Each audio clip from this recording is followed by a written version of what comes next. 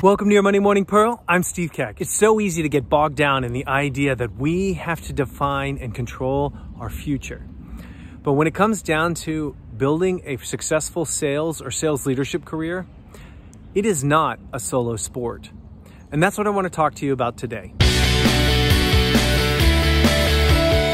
We always get in the habit that the only one who's going to get you there is yourself. When we start our sales careers, we often have to rely on someone to teach us the ropes, show us the way to go, show us how to build the pipeline, and show us how to close deals. But we're working every day towards independence. And just like our job transition conversation, where if you think you're going to get a new job, meaning a new opportunity, a new authority every two to four years, you're always in the construct of job transition.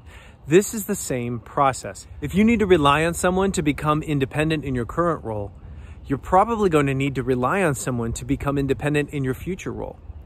So what that means is you're never figuring out how to become truly independent in the way you execute your career. You need to develop a state of interdependency. As you know that in sales, everything is relational. Well, so is the same for career development.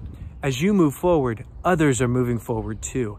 And it's always a wise idea to build some interdependency with each other so that those that are moving faster than you can pull you forward and those that need some pulling as well can be pulled along with you to help you solve some critical things that you need solving. You've all seen when the rock star gets too big for their britches that the band leaves them.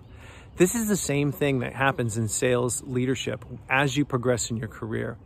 If you're the only one who can solve things, you ultimately become less valuable to teams that expect to work together. You are not going to be able to get there if you are the only one who solves all the problems. You do not actually make it to become a Navy SEAL if you can't demonstrate an attitude of carrying others with you, encouraging others. It's those that consistently grab the person, the man next to them and help them through the particular trial those are the ones who make it. The ones that think they can figure it out all on themselves and be the best soldier they can be don't make the SEAL team. And why is that?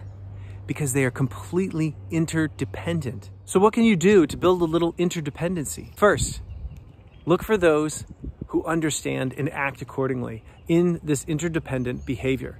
They're the ones who are going to be able to model for you what it looks like. Secondly, mentor someone. I have this management habit that as soon as I learn something, there's someone else in the building that know, needs to know how to do it. And so I go and tell them that they're going to learn how to do it sitting next to me and I'm going to teach them how to do it. And I found it to be extraordinarily helpful, both in the way I felt about the life I was leading at work, but also in the ability to get things done because I all of a sudden built a team of people I could rely on to solve 80% of the work that needed to be accomplished. Everybody succeeded everybody got better and our, all of our careers progressed.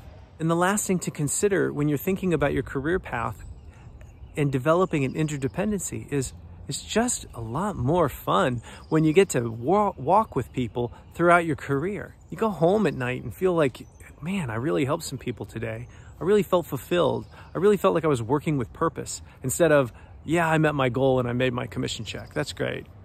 But at the end of the day, that leaves you by yourself. So this week, remember, sales is not a solo sport. Sales is relational, and your career is the same way.